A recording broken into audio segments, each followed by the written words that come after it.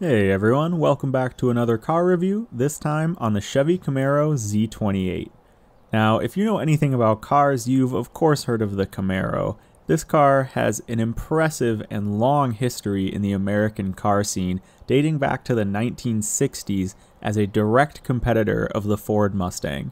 The two cars have gone head to head for over 50 years now, and we're now on the sixth generation of Camaro. However, those six generations have passed me by as I generally avoid American muscle cars in the Forza series, but there's no better time than the present, and I figure there's no better car to do it in than a brand new Chevy Camaro. So let's take it out for its first test drive. Alright, so first things first, I'm going to stop talking for a second as we listen to the engine.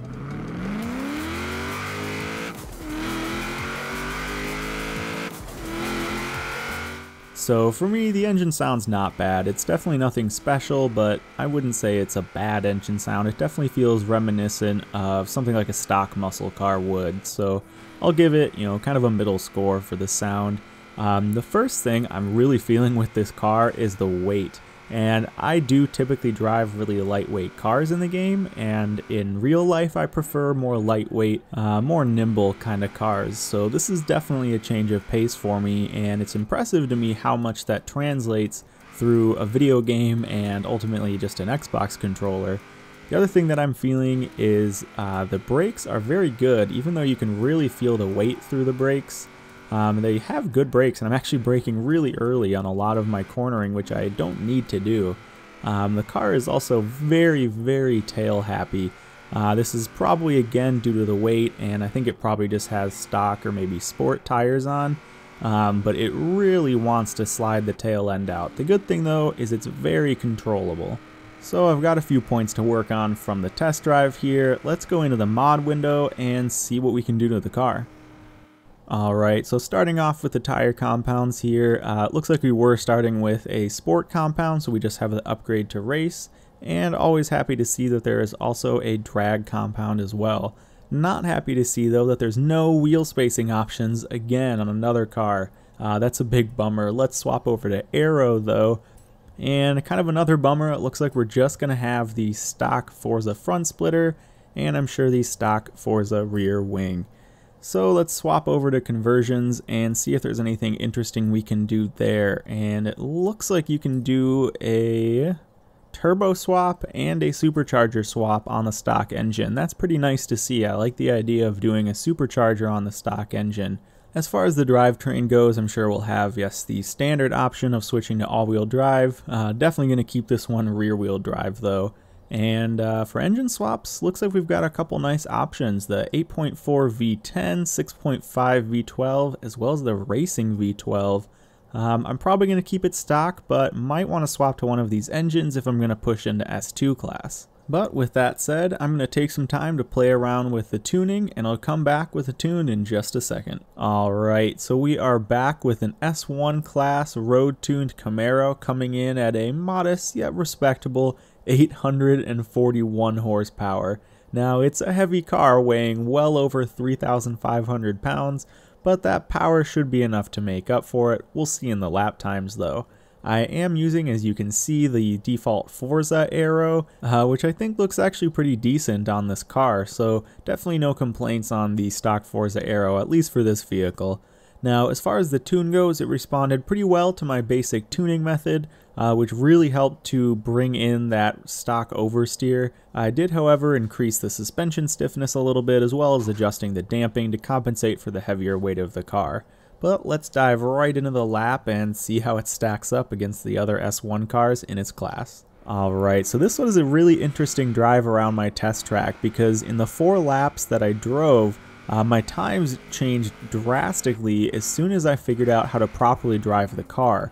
My first lap, lap and a half, um, I was really struggling to still keep that rear end in check. It was definitely better than stock, uh, but especially around the hairpin corners, I just really could not uh, get a handle on keeping the tires from smoking. But as soon as I really buckled down and really had to do very active management for throttle control, this car became an absolute machine. This thing was so fast. Although the car really didn't feel that heavy when you were going straight because that power really compensated for it, you could really feel the weight in corners and when you were trying to make small adjustments. This was another car that was really hard to keep on the racing line and again took a lot of active management and kind of taking control, wrestling control rather, of the car. I'm not sure if my struggle with the car was just because I'm not used to driving cars like this in Forza or real life, um, but once I figured it out, it was very rewarding to drive, and I'm really interested to see how it stacks up on the lap times. So let's hop right into it. How did the Chevy Camaro Z28 do compared to its competitors? Now we've had a few S1 cars already on the show, so there are some strong competitors against the Camaro, um, but if you have any guesses for the lap time, you're probably wrong. The Camaro did the lap in 218.426, absolutely destroying everything else in S1 class, even the Noble M600. And I was really starting to get the feeling it might take first place on my last couple laps. This car is just so fast, and once you figure out how to drive it and how to manage it, um, it will reward you greatly. So let's move on to the Hoki score and see how it stacks up there. Alright, starting with looks, this car gets an easy 8. Uh, American muscle cars have really come into their own in the past few years as far as styling goes, and this is such a great example of it. It just looks so aggressive, so mean. Um, it flows really well. I just love it. Uh, as far as sound goes, I'm giving it a 5. Kind of just one of those middle ground sounds. Doesn't sound great, doesn't sound terrible. Now for customization, we're looking at a 3.